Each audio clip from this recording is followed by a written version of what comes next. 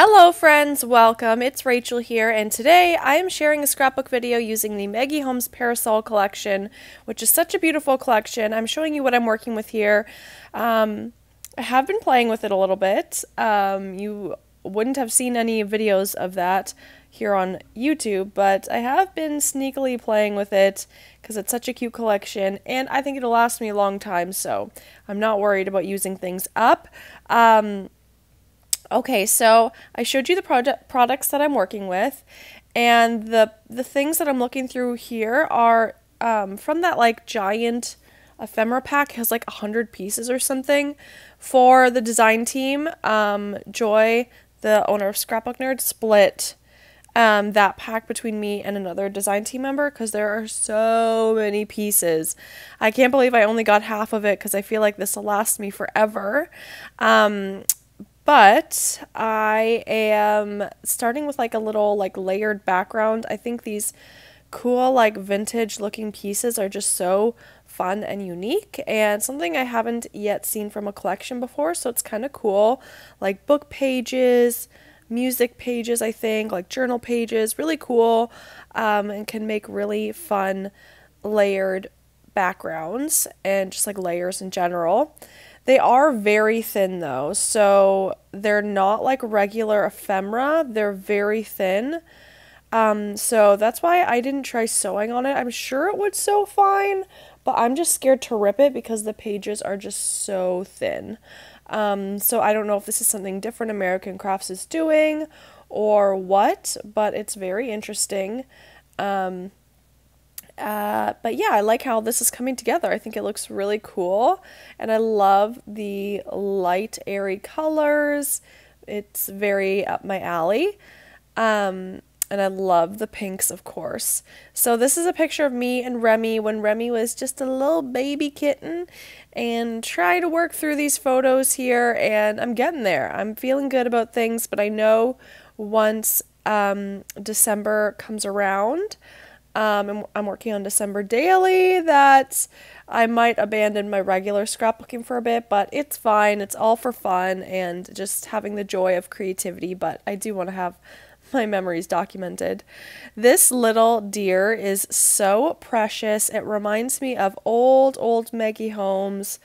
Um, and I just think it's so cute and so I had to put it on this page because Remy is so precious and this deer is so precious, so it just came together. Um, and yeah, I think it's I think it kind of suits the page, even though it's kind of a random animal. I think like just the feeling of a deer and like the vibes and stuff kind of make it feel like dainty and cutesy and all of that. So that's why I thought the deer went well. And yeah, I don't know. I know random animals aren't really my thing, but this one just felt right. I'm looking through these, this pack of stationery stuff, but nothing really nothing really would work with the layout that I already have going on. Maybe if I base it around one of those pieces in the beginning, but since I already have a page started, I didn't feel like anything fit. Um, I have the cardstock stickers here and these puffy kind of stickers. Um, and I'm trying to figure out what I want to do for a title. I thought um, doing a pre-made title like this would make it much much easier for me. So that's what I go with and I thought the gold went really well with the pink. Um, I'd love to know if you have this collection. It is all available at Scrapbook Nerd. If you don't have this collection yet it's so cute. Um, it's so pretty and I'm really glad I got it and in a second here, I'm going to grab the gold Liquitex ink. And uh, this is something I got from Scrapbook Nerd. And all I do is I grab, I have like a water spray bottle sitting on my desk. So I just grab a little bit of that water and a little bit of the ink and splatter on the page because the ink is just a little bit too thick to be on its own. Uh, but this is what I do and it works perfectly fine for me. Um, and obviously the gold is very pretty and um, I, don't know if you have gold Heidi Swapp Color Shine. That has been discontinued for years, but I still have some bottles hanging around. Um, but those colors often leave like this weird like oil ring around the splatters, but that doesn't happen with this Liquitex ink, which is nice because yeah, they leave like these really weird like oil splatters. I don't know, like these rings around the splatter. It's really weird. Um, but anyway, these don't, is what I'm trying to say. And they dry perfectly. So um, I really like, I really like it. Um, I kind of got stuck here. I got to a point where, yeah, I was just feeling stuck. Wasn't quite sure where my clusters were. I don't know. It just felt like kind of all over the place. Um, but we get there in the end. We get there, and I love how the layout turned out. But um, it's a lot of me like trying things out and looking through my pages and trying to see what will work. Um, going for the a lot of the um, pink things because it just would go with the vibes of my page. I love this little pack. It has, um, you can see I've basically used the entire thing already, but it has these like enamel buttons, it has these adhesive brads, and then it has some uh, twine and uh, crepe paper that's sewn. And um, what's the other thing it has? Um, oh my goodness, the word is escaping me, but you will see it in a second. Um, sorry about that. It's still early in the morning, but I decided to use the crepe paper for the bottom here, and I love the way that looks. I don't usually use a lot of like ribbons and and things like that on my layouts, but I think this looks really cute.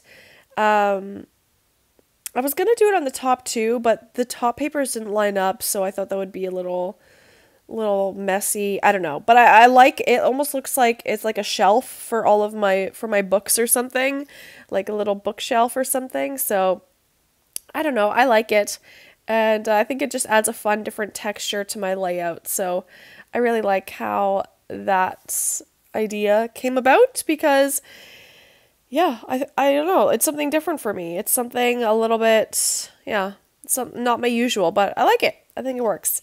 And again, with all the pink, it kind of all comes together. Um, and yeah, just trying to figure out what kind of sprinkly bits I want to pour over the page.